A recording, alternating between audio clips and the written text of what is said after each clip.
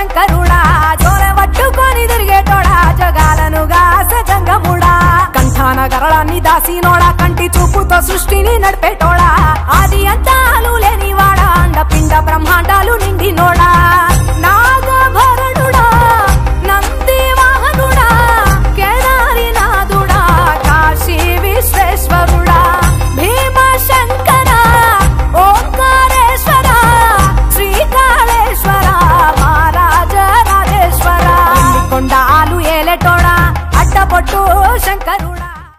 మహాశివరాత్రి సందర్భంగా పదకొండవ తేదీ రాత్రి కళ్యాణం జరుగుతుంది.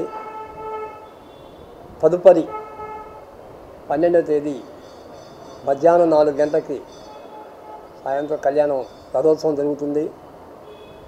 ప్రతి సంవత్సరం అయితే కళ్యాణం అయిన తరుపు తదుపరి రోజు గ్యాప్ రావటం వలన రథోత్సవం ఇంకో రోజు గ్యాప్ ఉండేది.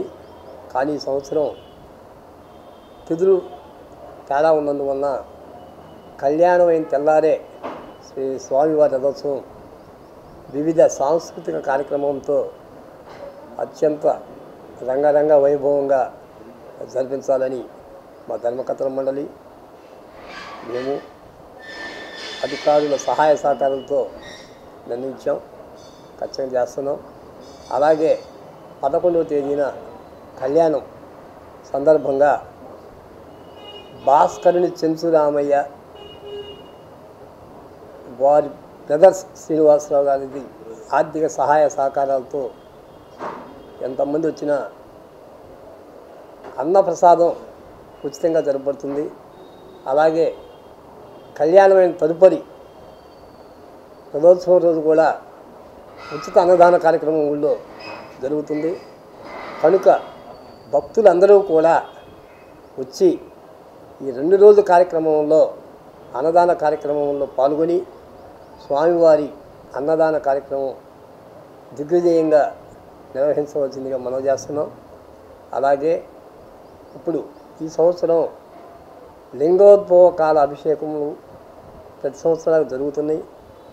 కానీ ఈ సంవత్సరం మేమే దేవస్థానం తరపున సామాగ్రి ఏర్పాటు చేసి ప్రతి ఒక్కరికి కూడా లింగోద్భోగాల అభిషేకాల్లో ఉచితంగా చేయాలని నిర్ణయం తీసుకున్నాం.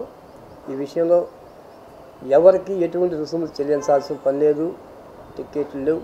కనుక భక్తులు యావన్ మంది కూడా కోవిడ్ నిబంధనలకు లోబడి సామాజిక దూరం పాటిస్తూ అందరూ కూడా వచ్చి లింగోద్భవకాల అభిషేకంలో పాల్గొని వెనుక వచ్చే భక్తులకు కూడా ఇబ్బంది లేకుండా త్వరగా క్యూలైన మూ మూవ్ చేసుకుంటూ అందరికీ లింగోద్భవకాల అభిషేకం చూసే అవకాశం కల్పించాలని మనం చేస్తూ ఉన్నాం. ముఖ్యంగా కోవిడ్ పరిస్థితి బాగా బాగోలేనందువలన దయచేసి అందరూ కూడా సొంతంగా శానిటైజర్ చేయించుకోండి. దేవస్థానం తరఫున కూడా ఏర్పాటు చేశాం. సామాజిక దూరం పాటిస్తూ మాస్కులు పెట్టుకొని దేవాలయానికి రావాల్సిందిగా మరీ మరీ మనం చేస్తూ ఉన్నాం. అలాగే రథోత్సవానికి కూడా భక్తులందరూ కూడా ఎంతో జాగ్రత్తగా సామాజిక దూరం పాటిస్తూ కార్యక్రమంలో పాల్గొనవలసిందిగా మనం చేస్తున్నాం.